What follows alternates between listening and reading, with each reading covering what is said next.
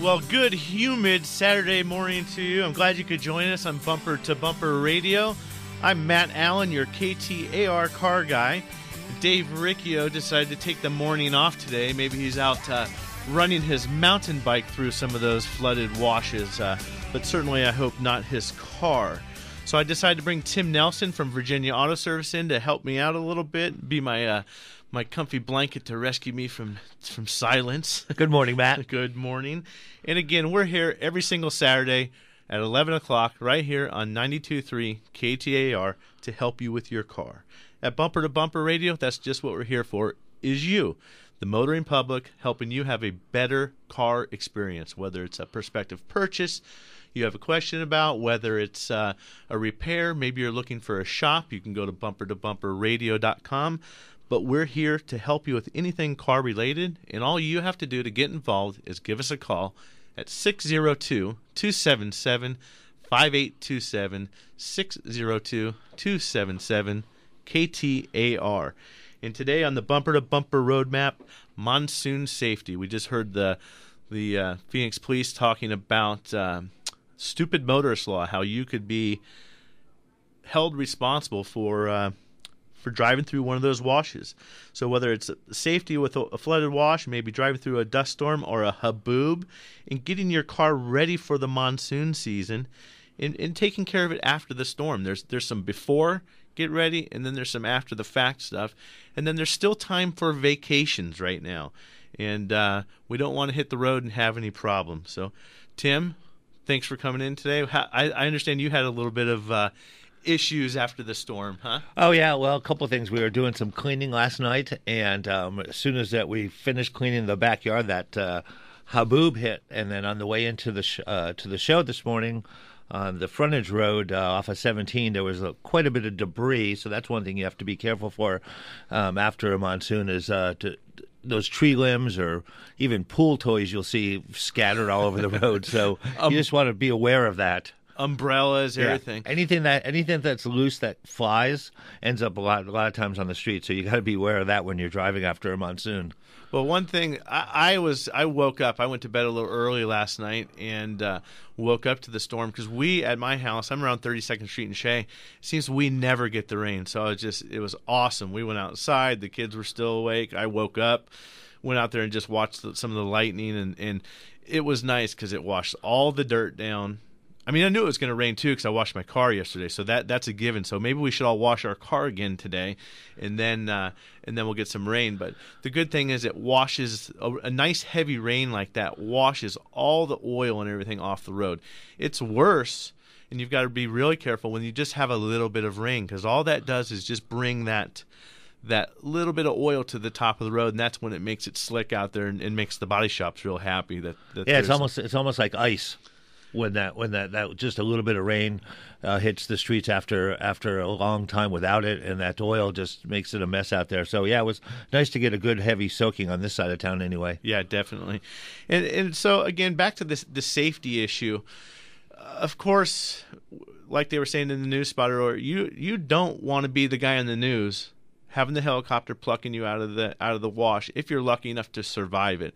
And besides the bill that you're going to get from your from the police department or the fire department or city or state or whoever it is that that sends that off to you, you've ruined your car at that point. And you don't even have to go that far to ruin your car. These cars now have really low hood lines and, and because of that, they need to get everything down. The air intakes are low, where they you know where the air filter is, where it's sucking the car in. I mean, that air filter may be on top, but there's a snorkel that goes down, not up. When you're thinking of snorkel and and you go through just sometimes just even 12, 12 inches of water is a lot you go through there i've seen people suck in water just going thinking they're having fun their kids out screwing around in the car and they go splash through a puddle in the parking lot thinking they're going to douse their friends or make this big deal they just that engine drinks a, takes a big drink of that water, and you cannot compress that. That's that's what they call hydrolock the engine. So you you set yourself up for a big disaster. So that that's the deal with the washes, and just stay out of them. It, it, they're very dangerous. Not to mention they'll ruin your car. And then the other thing is is driving during the haboob. uh, or the dust storm. And ADOT has got some tips on their website, and I'll get those posted on our Facebook page. But you can go to the ADOT website. Uh, I think it's ADOT. I just Googled it. I don't even, I just Googled ADOT dust storm, and, and it's, uh, and there's a list of things to do. So, of course, you want to avoid driving in the dust storm. If you start to get into one, get aware of your surroundings. Are there 18 wheelers next to you? Or you just find out what's around you and then start accommodating your speed to the conditions, slowing down a little bit, maybe looking for a place to go pull over. Maybe it's better just to go get off the highway or, or pull into McDonald's and have a soda or, or go to a movie. yeah, just let, the, let that monsoon pass before you continue driving. Yeah, but if you're and if you're out on, on the interstate, don't wait too long. Don't wait till you can't see to try and figure out what you're doing. Don't ever stop in the travel lane or even they say on the paved side of the road. Don't just pull off to the shoulder. Get off. And that's part of having to do with not waiting too long is get off the side of the road so that if someone can't see you and they don't just run into you. You're out of the traffic. And again, shut off the lights. Don't sit there with your foot on the brake pedal. Don't turn on the hazards or anything like that. And I think the most one of the most important things, whether it's a haboob or even you're stuck down here in the 51 rush hour traffic or whatever the case may be, even outside of a storm, if you break down, sit in the car and leave your seatbelt on. Don't get out of the car that that's just a whole nother chance to get run over. Don't let the kids unbuckle. Get stay in the car, stay with your seatbelt on, and stay safe. So that's that's some of uh, our tips as well as uh, the majority from from from ADOT. Um, another thing is uh, lots of time left for road trips still, and there's an interesting article. Well, I found it interesting anyway on on KTAR.com on the KTAR website this week. It was titled "Better Business Bureau." Buyer beware on road trip repairs. And we always hear talk about a relationship with the shop. You want to have a good shop and you want to build a relationship. It's just like your dentist, just like the pediatrician for your kids. You want that consistency. And I read this article, and this was uh, written by one of the reporters here who actually, it was his story. He went out on a road trip, and I see several things wrong with it. He and I'm not picking on you too much, Bob, I hope. but he went out on the road. Thought, well, I'm going to get a head start. I'm going to go get my oil change. I'll just get it done in Flagstaff. Big mistake, I think. Agreed. Yeah. I mean, you don't want to wait till you start your road trip to go then find out that there's something wrong with your car. You're going to a shop that you don't know. In his case, he went to a franchise. Well, franchises are inconsistent a lot of times. One one franchisee runs it one way, one runs it another way, and and you just don't know what you're getting. It's a mixed bag there, and that's why we promote the the bumper to bumper radio shops because they're consistent. They're typically or they are mom and pop shops. Um, so he goes on the road, gets his oil change, and thinks everything is fine. And, and luckily, they didn't find something wrong. The other problem I see with that is you get there and you're in Flagstaff getting what you think is just an oil change, and they maybe they find legitimately you have X, Y, and Z wrong. Now what? Now you've already interrupted your road trip. So prepare. Go two or three weeks in advance. You know you're going to go on the road trip. Check it out in advance. Have the car the car looked over. Even the best shops make a mistake. I hate it, Tim. What what do we hate doing this huge job and then the people go, oh yeah, that'd be great. Get everything done because I'm leaving tomorrow to uh, you know driving to Wyoming or something like oh yeah right yeah yeah because you know you know you want to always make sure that like like Matt said you know if you're going to go on a road trip a couple weeks in advance that way if there are things that need to get done they can get done you can drive it and make sure there's no other issues uh, like I said the worst thing is that you know you're on the trip a day after a major repair and there is God forsaken something happens. Well, and and forget about that. Maybe there does need repairs, and you decide, you know what? I'll just rent a car gone for a week. You can find deals on rental cars in the summertime in, in Phoenix, and maybe that's that's something that you want to do. Um, but then, unfortunately, on this trip, he had a problem. The shop that he went in for the oil change, they left something loose. The car lost oil. He had to be towed. Stayed overnight. Something happened. All the oil came out. It wasn't a big repair. Luckily, it didn't blow up the engine or anything, so they were able to put oil back in the car he saved his receipt. He went back to the shop in Flagstaff and said, "Oh, here's what happened," and whatever the discussion was. And, they, and I think they said, "Okay, we'll give you the 33 bucks back that it cost you to clean up our mess." But maybe the story doesn't end there. That car got run out of oil. When is there going to be a problem? Is it two weeks down the road, three weeks down the road, six months? And here you are with this problem and probably little or no recourse.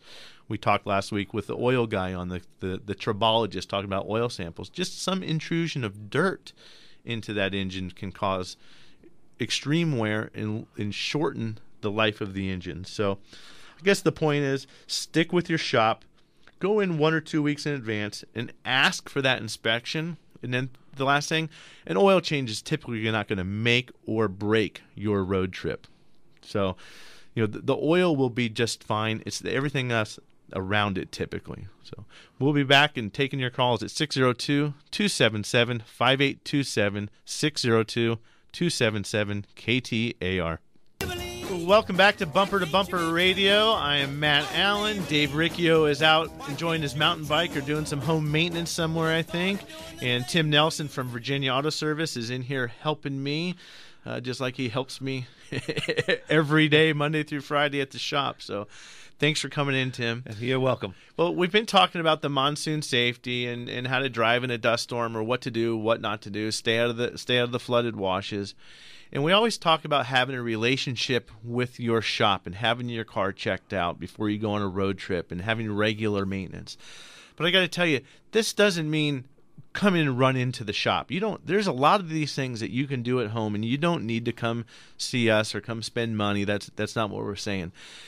And if it were me and I was going to hit the road and I had to say a newer car, let's just say I have a car with 40,000 miles on it, chances are that car's in good shape. There's nothing wrong with it. You don't need to go in and have all this super duper inspection of of everything, this glorified green service that's $90 and, and, and whatever, like they market at a lot of places most shops check all these little things with with your oil change but what, the easy things to do we don't use our wiper blades very often so i usually find that by the time i need wiper blades they don't work so tim wiper blades you're going to check at home what's Your the light- easy stuff Your wiper blades, your lights, and you can take on your wiper blades too. I mean, you may have not used them for a while, so you may want to take a, a damp rag and just wipe them off. For you know, they may seem to be at first not working right, but it just could they could be dirty.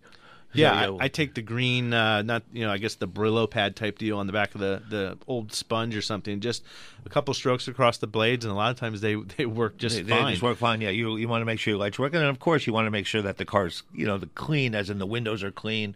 Because if we just had a like for example, we had the Haboob last night, the win the windows on my car this morning are just nasty, dirty, and then you have to make sure that you can see. You know, See, my car was parked outside, luckily, so it got a, a full wash job, actually, courtesy of Mother Nature. It actually rinsed all the all the dirt off. But that's a good point. That's the thing. I, I hate going on a road trip with a dirty car. So go get a car wash. That's one, and then again, check the lights. And we're talking the headlights, the taillights, the turn signals. Make sure the flashers work, the license plate light bulbs and that's all stuff that's very easy to do and most shops are doing that with it with the oil service now if you've got an older car go in and get the inspection ask them you want them to to look this car over a lot of shops are looking for repairs that's what we're in the business to do is look for repairs but some shops just find stuff that they like to do uh, you know, oh, you need a tranny flush. Oh, you need a this. You need a that. That stuff is not making or breaking your trip. So, your shop, you want them to check the tires, check the suspension. If there's a sign on the tires that there might be an issue, looking at the belts and hoses. Of course, you want to keep your maintenance maintenance current. And of course, we, don't have a crystal ball. I wish wish we would, but I've seen a handful of repairs this week in our shop that were major repairs that could have been avoided with a little bit of maintenance. So, if you've got a question or anything you want to talk about on your car, please give us a call 602 277 5827 and we'll get you on. Don't be shy. And uh, we've got some very patient Fred from Mesa Holding with the 1999 BMW. Qu- What can I help you with, Fred? Hey man, hey Tim. Good morning. Finally got Morning. finally got rid of Dave. I see. Yeah, we let him have a day off. I'm I'll be gone next week, so uh, he decided to play a little hooky today. Well, wonderful. I've got a '99 BMW uh, 528. My ABS and traction control keep coming on intermittently. No, just driving down the road, it'll come on, and I know that has something to do with some internal diagnostic. But I'm trying to determine if it's something that I can do myself, change a sensor or something, or do I need to go? Do I need to go do the full service? Well, you probably I don't know what your mechanical skills are, but th- the BMWs, most any car, they they're going to have a wheel speed sensor, and it might be the right front. I think it's on the BMW. It's the left front that they use for the the speedometer. So one thing is if your speedometer was cutting out, that may be an indication that you have just that one speed sensor going bad. But what's happening? The antilock brake control computer is looking at, at it relies on the speed of each individual wheel to understand if there's lockup, and that's how the it's going to control the function of the ABS. So if it loses one of those sensors, that, that just picture the computer freaking out, going, "Hey, hey, wh- wh- where's the right front? It's going 400 miles an hour, or it, it's completely stopped." But yet we still have throttle input. We don't have any brake input, and the other three wheels are working. It can't. That doesn't compute with that with the with the system. It can't work. So it's going to throw up the flag, turn on the orange light, and say, "I can't help you. I'm not working right now because I'm not getting good information." Some of those older systems will store a code in the computer, or we just go in with an interface and we actually actually watch each wheel speed, drive the car, or have it up on the lift and spin the wheel. And look, that's the first place I would be starting in the shop. You could go through, we can go through with a voltmeter and check the voltage, or we're checking the AC voltage and see if that is a if it if the sensor some of those produce a voltage they're a signal generator or they're a Hall effect switch where they're just showing on and off. So it's a square wave, and depending on the frequency of that square wave, tells the computer how, how fast the car is going. Probably something best left for a shop, depending on what your what your mechanical skills are. So thanks for the call, Fred. And we're going to go in Juan with Juan in Phoenix on a 2012 Nissan Titan. What can we do for you, Juan? Yeah, this may be the most important call of my life. Uh, I'm a pool guy, so my truck's very important to me, and I got a lot of toys to, to haul and stuff. And uh, last July, I bought a brand new 2012 Nissan Titan, and uh, it's still in August. I was at in the bank line, you know, in the drive-through teller, and I looked down at my temperature gauge, and it was getting into the uh, past the warning to the H and so I immediately uh, started driving, and it immediately went down, and it never overheats unless I'm sitting in one spot with the air conditioner on. And um, I was wondering, um, I brought it in the Nissan for them to look at, and they just they got it to happen, and they just all they did was put a new instrument panel in because they thought the instrument panel was getting wrong readings and that it wasn't actually overheating. And I'm still overheating. I can't sit down. I can't sit in my truck and have lunch during a hot day with the air conditioner on without the uh, temperature gauge going up to high. And uh, I was wondering what questions and how I go about to find this, what seems to be a hard to diagnose problem. Um, I'm wondering also when I bought this truck, it sat in the lot, um, so the battery was no good. So for for the first 30 days of the truck, I was uh, driving with a bad battery, didn't know it until a couple times I had to get a jump start, and they had to put a new battery in. So I don't know if that might have messed up a water pump, an electric fan. Well, probably not. I mean, the, the battery may have been weak, but let me ask you this: when you're sitting there having lunch or trying to have lunch in the in the car, the temperature gauge is going up. Does the air conditioner stop blowing cold? Yes, it does. Okay. Well, that is is a sign that there's a problem with the, what I would think would be the electronic cooling fan. There's a difference. If we could have the gauge saying the car is overheating and the car actually overheating itself. So there's let them know that you're having that problem because without the airflow coming over the condenser from the electric fan, you're going to have the air conditioning not work well and the car is going to start to creep up. You start driving down the road, you get more airflow, the air conditioning gets cold, and the car cools down. So that's a great question, but take notes, take that back to your dealer, and, and have them check it. And we'll be right back with more car questions and more car answers. Welcome back to Bumper to Bumper Radio. I'm Matt Allen. This guy helping me out is Tim Nelson from Virginia Auto Service, and we are here to help you with your car every single Saturday at 11, from 11 to noon on Bumper to Bumper Radio. Dave Riccio took the weekend off. He's out uh, cruising around on his mountain bike, probably. And so we're here to help you. And it, we get a lot of emails at bumper to bumper radio.com. Some are questions, some are complaints. You know, they don't like the way I look or the way Dave sounds or who knows. Peter's in there shaking his head, looking at me and telling me I'm ugly. Depending on the time of day, who knows. But it's really satisfying a lot of the positive emails that we get. And I want to uh, read one. I'll try. And, I didn't realize it was this long until I looked at it again. But I just want to quickly summarize. And the guy writes, "Hi, my name is Ray. My wife and I live in Sun City in a retirement community. Uh, I want to have to, to express my appreciation for your helping me find a great shop listening to our favorite radio station, KTAR 92.3.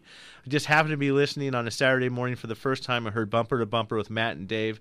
After I got home, I went to the computer and did my research, and well, now I know all I need to know about Matt and Dave. I checked your preferred li- shop list and uh, was looking for somebody that high ethical standards, and their main concern was make sure they take care of their customers, which all the bumper to bumper shops do. Reviewing the list, I selected Dave's Car Care at 51st Avenue in Peoria. He's the closest to my home, but not all that close. It's still quite a drive. I live 20 miles from the repair shop and, and went over there. They were able to, now I'm really getting out of track here and summarizing. A few days later, I went and saw Dave Denman, the owner. He had our car service, and let me tell you, their office, their shop, the whole place was exceptional, clean. It's just a great place. It's like walking into a hospital. It was very impressive.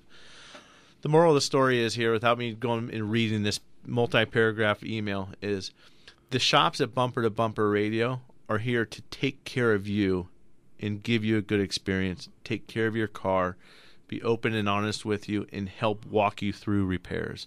So, thanks for sending in that letter, and thanks to Dave Denman at Dave's Car Care for putting on the good face and showing how the bumper to bumper shops are. I think that that experience could be duplicated all over.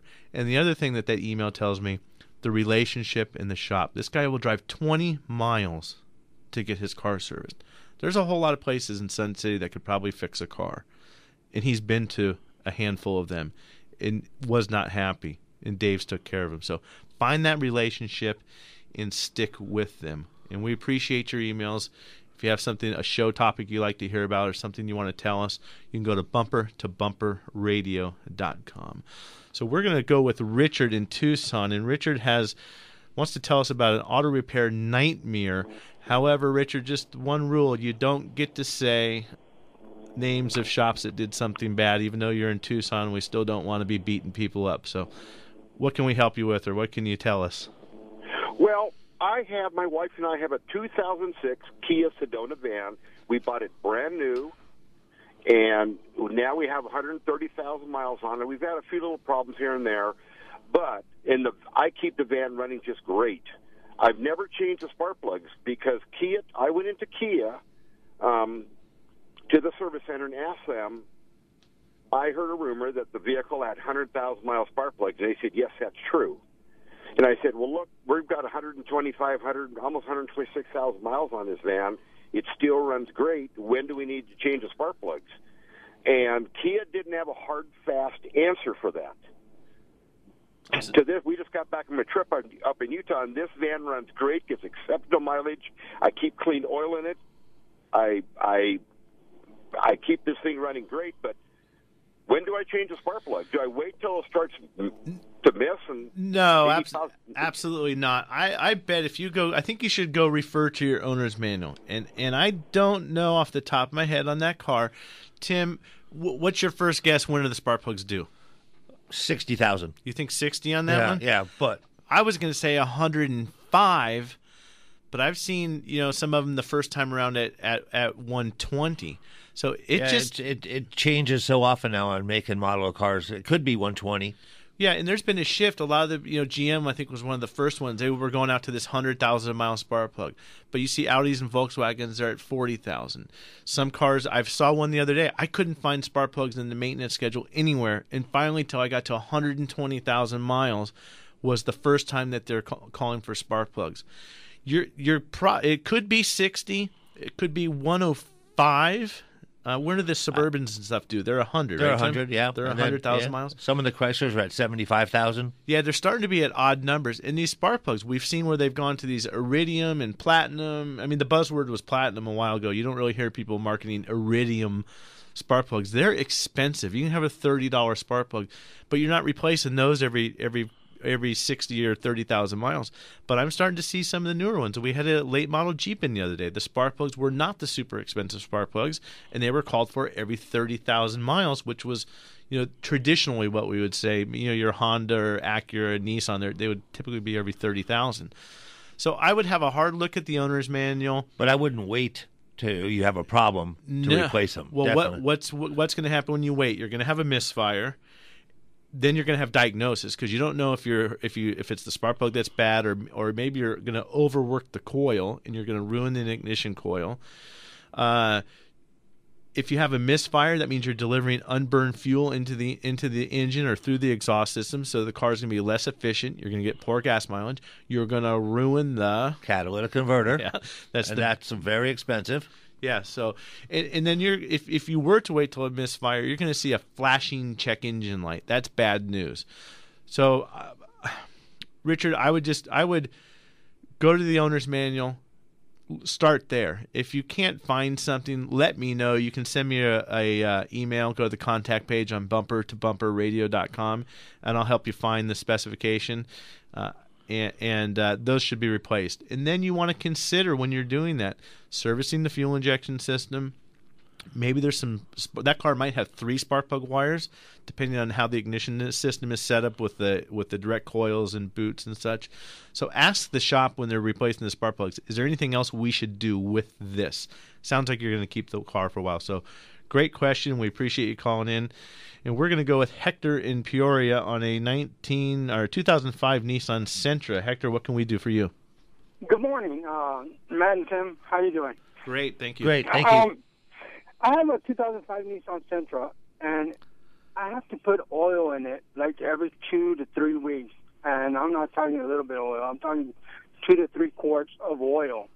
Uh, a lot of my friends tell me it's the valve, the bad valve. Do you have any suggestions as to what's causing that? Um, well, I guess the first thing I would ask you is there oil leaking underneath the car? No, there's no oil. I see no puddles in my garage. There- there- There's no leaks. I even checked the uh, radiator water. Wa- Water's green, so they tell me there's no cracks in the engine. My friends do. I, I haven't consulted a mechanic, but I thought I'd call you guys and find out. How many miles are on this? 165,000 miles. Okay.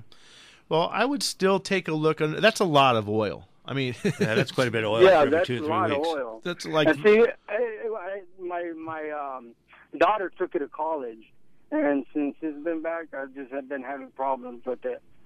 So Well, we need to. I've got three daughters. I think probably need to start preparing them for car maintenance when they when they go off to school. Um, absent leaks on the ground, we would have to assume that the the engine is consuming the oil. I would still have a look underneath the car because we see cars in the shop. Tim, we tell people they have an oil leak and they tell us we're crazy until they either go home and look at the spot on the ground where they were parking because they never see it because when they're home the car is always on top of it. Or you But might there's so many covers under these cars these days. yeah, in the center, I don't think there's a lot of shields or anything covering. But what I was going to say is the the oil blows backwards. We'll find that the you know they have an oil leak from the left rear. That's what they tell us. And what that is, that's all the engine oil that was blowing backwards. Now it's finally dripping off the lowest point of the rear strut or something. So it sounds like you know what you're doing as far as looking at that. I'd take another look, but that that's a lot of oil. Um, I'd be surprised that you don't have smoke from the engine with that kind of consumption, and I would be surprised that maybe you don't have a check engine light with a catalyst failure. Because if you're pumping that kind of motor oil through the engine, you're going to ruin the catalytic converter, and that in itself will turn on a light for. It's not a light telling you have an oil leak; it's a light telling you that there's a catalyst efficiency issue. Best thing to do. You just heard us talking about Dave's Car Care at 51st Avenue in Peoria. Go in there, spend a few bucks, have them have them look the car over, and come up with a solution for you. And again, anybody looking for a shop, bumper to bumperradio.com. So thanks for the call. Steve from Phoenix on a Jeep Wrangler. What can we help you with? Oh, good to hear from you. The um, I have a 2007 Jeep Wrangler, the X model, so it's not the uh, Rubicon. I, got, I bought it used, got about 90,000 miles on it. One of the big things, it's got a light on the dashboard. It's, I think, or it's actually not on the dashboard. It's down towards the center console. It says SRS something. Uh, I'm not in the vehicle right now, so I couldn't tell you. It has to do. I guess it's that traction control system that I um, that's not working. It, it kind of simulates like a uh, Positrack. I took it to the dealership. Um, they just cleared the code out, and within a half mile of the sh- of the dealership, it came back on again. Okay. Well, Um, SRS is secondary restraint system, or TRAC stands for traction control. Okay. Um, it- Secondary the two- restraint. which would be, It- it- which would be an an airbag issue potentially. or or a seatbelt issue. Could be a seatbelt issue on SRS, but typically an SRS problem or an airbag system or seatbelt issue isn't going to cause the ABS light to come on or the traction control light. So if you have a traction control light, much like the guy that called earlier with the BMW, the computer is relying on wheel speed to control the traction, you know, the control of the vehicle. So if it can't see wheel speed, or maybe you're seeing like a dynamic stability control light too, that could be what that is. But if if you start to slip one wheel on ice, the engine control computer will recognize that and cut back power so that you don't get wheel spin and, and get out of control. It could also be in a braking situation where the car will want to take control if it has dynamic stability control and help you recover from a slide. And and those systems rely on wheel speed to help keep to make that that system work. If it went on a half mile down the road, I bet we have a problem with a wheel speed sensor or something like that. The good thing is it doesn't seem to be intermittent. It's duplicatable. Where if you they cleared it, it came right back on again. So you just need to get to a shop that's got the right equipment that can test test that. Whether it's the dealer, I know my shop we spent a lot of money this year going with all factory scan tools. We have the original equipment Chrysler, original you know, which is all the Dodge, that whole family, uh, Honda, Acura, Toyota, and get in there and take a look. And, and it shouldn't be that big of a deal to figure it out. It just depends on what the fix is. It could be a, a cheap spend, sensor or it could be an expensive computer. But it's just a matter of getting somebody to look at it and uh, shouldn't be a big deal to fix. So we've got some open lines at 602 277 5827 602 277 KTAR. If you want to get involved, just give us a call and we'll do everything we can do to help you with your question. Well, welcome back to Bumper to Bumper, and we're just talking about cars today. Anything you want to talk about during this show, all you've got to do is give us a call. Um, we're here every Saturday from 11 to 11 to noon, helping you. We're here to help you with your car. So it's a car question. Maybe you want to buy a car. You, you have a question about a repair. You don't know what to do. Just just let us know, and we'll help you.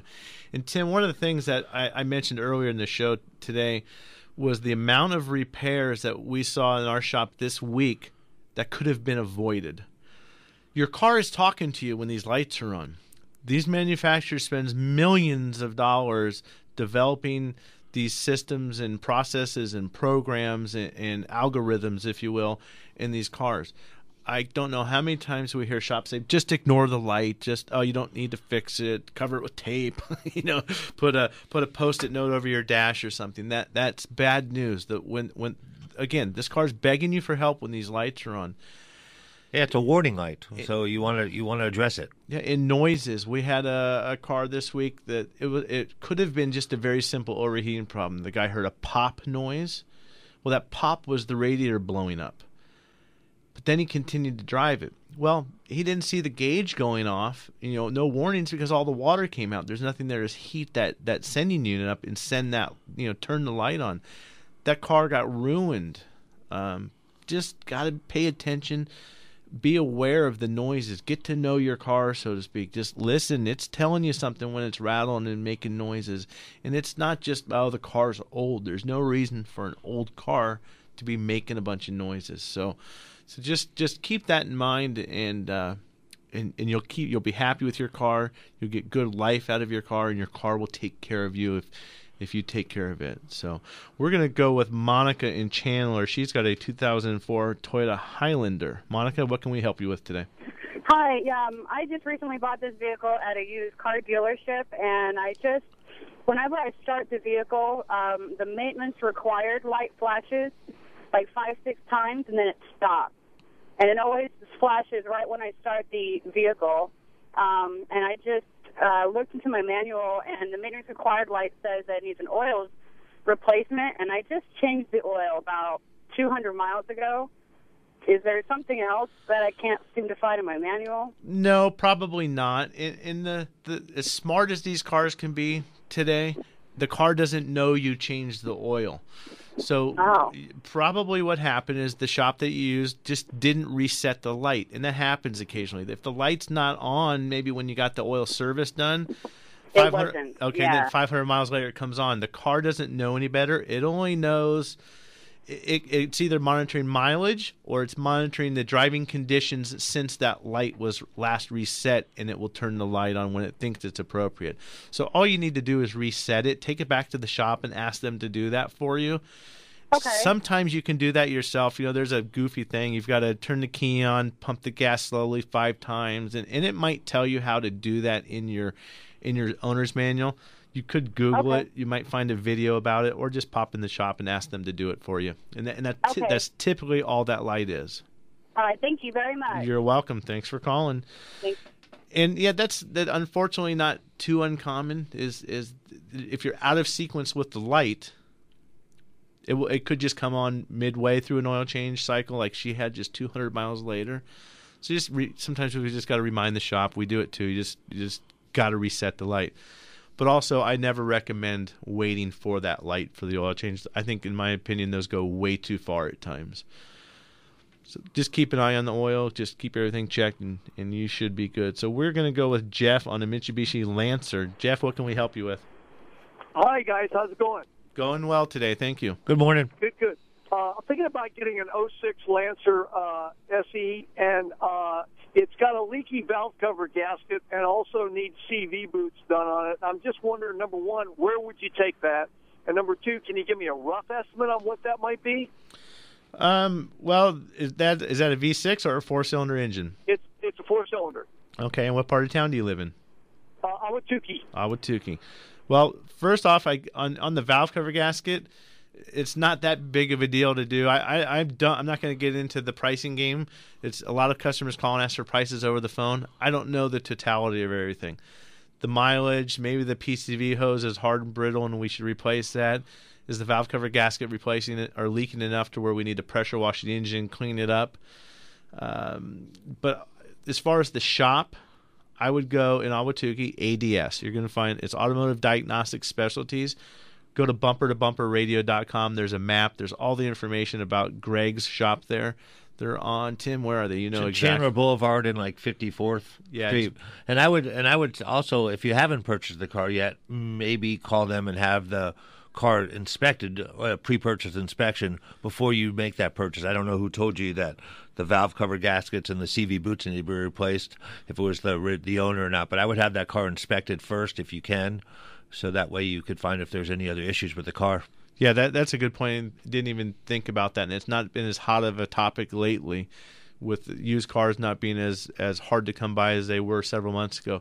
It's always worth the fifty or hundred dollar investment to go have a car checked out before you you jump off and make that purchase. There's a lot of good cars out there that are for sale, but there's a lot of cars out there that are something that somebody's selling because they didn't want to fix the problems themselves. You know, they're just moving on to to the next one. So thanks for the call.